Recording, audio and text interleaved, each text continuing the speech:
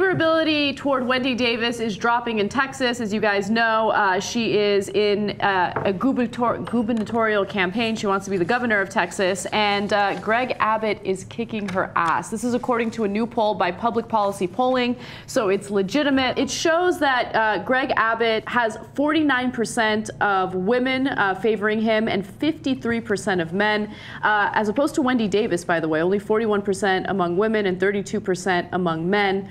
Um, and then 11% How are not Greg sure. Abbott leads Wendy Day. How Greg Abbott leads anybody among women is staggering. Yeah. So, look, we're on Wendy Davis's side, and Greg Abbott, uh, for many different reasons, is a bad guy. Well, we don't agree with him, and then he brings around Ted Nugent, who craps all over the place and stuff.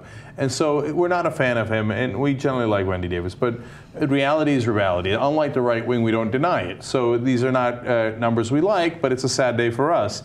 And so, What's really disconcerting, it's not surprising that a Republican would be beating a Democrat in Texas by 14 points, which is the 51 to 37 lead, right?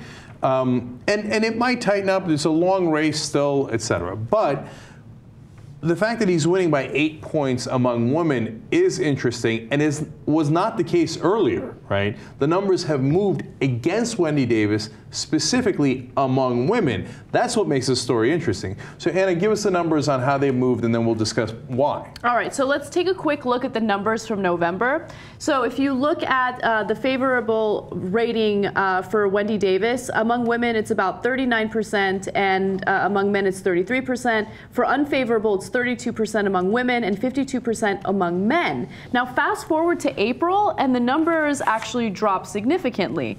Um, only 32% of women see Wendy Davis as favorable, 33% of men, and 46% of women see her as unfavorable.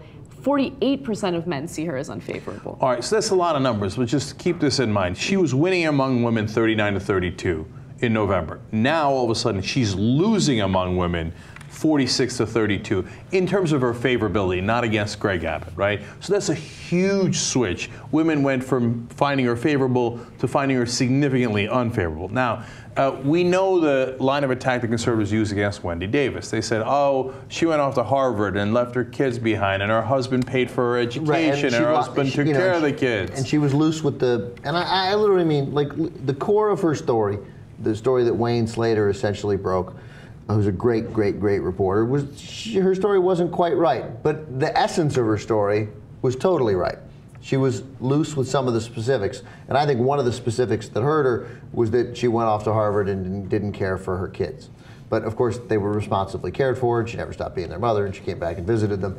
And I, my hunch is that that has hurt her more with women. It's foolish, but it comes from not being able to control your own story, and it comes in politics from just stretching the truth a little bit because it was easier than the specifics of the story, which you would have had to get through and which would have taken a little bit of shine off it, but you wouldn't have gotten hurt later. So there's two angles there uh, that they use to attack Wendy Davis. One is that she's being a little loose with the facts, as Ben said, and the other is this issues around gender and having a career and taking care of the kids, et cetera.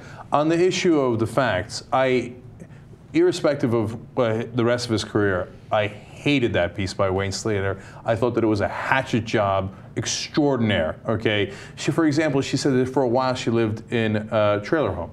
And he said, Yeah, but only a couple of months. But she never says she lived there for decades or even a couple of years. So, in fact, you confirmed that what she said was true. But the way he said it made it seem like, ha ha, stretching the truth. And he did that over and over and over again in that story where you say, Wait a minute, you're actually confirming what she said, but you put so much stupid snark behind it, it made it seem as if she was lying when, she, when your facts confirmed that she was not lying. So, it was a very frustrating article. And of course, the conservatives loved it and went down on it.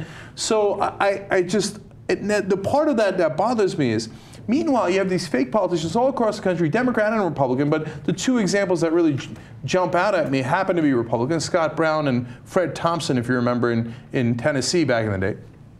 They, they literally have these fake trucks that they use. Right. That Fred Thompson never used that truck outside of the campaigns. He, he would go in a Lincoln Town Car, if I remember right, to go get into that stupid old truck and then do the campaign things around in the truck and then get back into his Lincoln Town Car.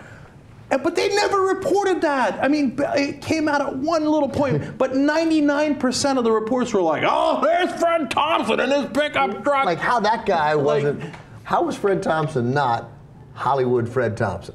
I mean, it's literally yeah. exactly. So Scott Brown did things that are similar. So you want to pick apart a politician, you have so much stuff to work with, right? That you don't have to go and nitpick things that and by the way, that actually prove that she's right. So so I hated that piece, but they, it helped. So everybody, men and women, the perception that they got, they didn't get this level of detail. They got, ah, she's a liar, right? She's a liar. So that hurts, right?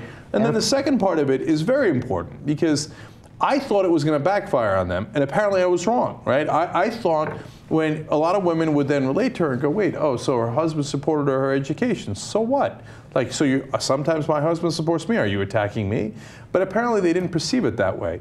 Apparently some, of course not all, right? But a significant chunk perceived it differently, right? And that what they saw was, oh, she went off to go do her career and left the kids behind with the dad. She's a bad mom. I don't like her. I'm dropping And my that's so that's so insulting to both men and women because family dynamics are changing significantly. There are plenty of stay-at-home dads, mothers who go out and get their education, start their careers. So what? They're bad people because they're not following the same gender expectations that you like. And- And, I think that there are some women. Sorry to interrupt you, but I think that there are some women that you know might be a little bitter about it. I'm going to say it as a woman myself, I, with my perspective. I think that there are definitely women that wish that they had the opportunity to do that after they had kids. A lot of women don't, and they see that Wendy Davis had the ability to go off to Harvard, get her education while she had children, and there might be a little bit of jealousy there.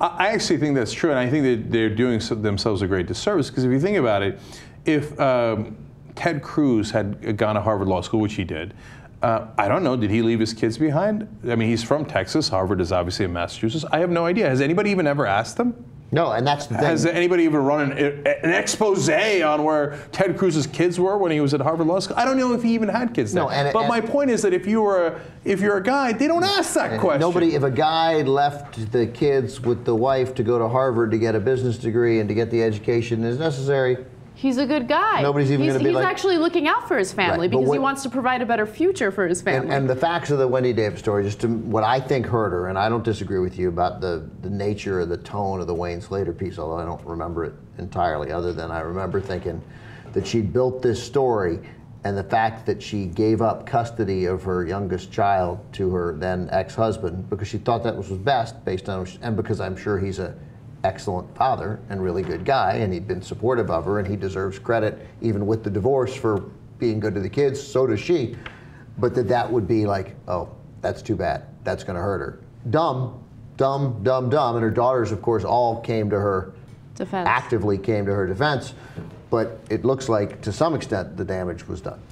Yeah, and so we'll have to see if she can recover from it. And uh, I don't know. I, I don't know. She's going to have to react now to these numbers, right? And she's going to have to figure out a strategy for it.